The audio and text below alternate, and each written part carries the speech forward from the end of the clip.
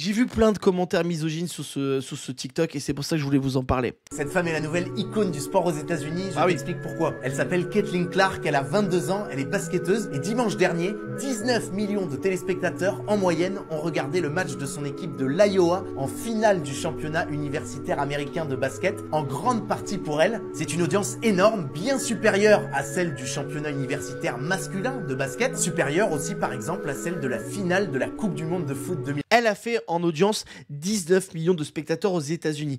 Le TikTok de l'équipe disent qu'en finale de Coupe du Monde de football, il y a eu 16 millions. Et dans le chat, il y a tous les misogynes qui disent Non, mais attendez, la, coupe, la finale de la Coupe du Monde, c'est un milliard, c'est pas 16 millions. Vous dites des n'importe quoi, vous êtes woke. En fait, le mec, il dit jamais euh, c'est l'audience mondiale, il dit parle juste des États-Unis. Parce qu'en fait, nous, on s'en bat les couilles de la finale de basket régional, on s'en bat la race. Donc tu compares avec ce qui est comparable. Et là, les mecs, ils font Non, mais le sport féminin, c'est pas autant d'audience. Et en fait, c'est que un combat de merde pour te dire que le sport féminin, c'est nul à chier.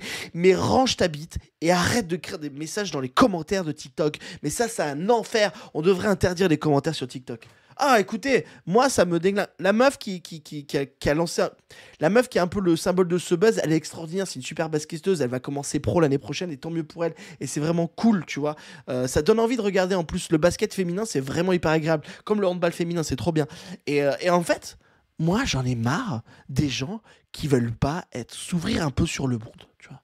Ok, ben regarde du sport féminin, c'est cool aussi, tu vois. Et l'équipe, il y a pas, en fait, dans les commentaires, ils disent tous qu'il y a un biais dans l'équipe. C'est genre, non, mais attends, euh, il y a un biais, l'équipe ment, euh, tout ça pour mettre le, fou- le basket féminin à l'honneur. Non, en fait, ils disent juste, les- ils comparent juste ce qui est comparable.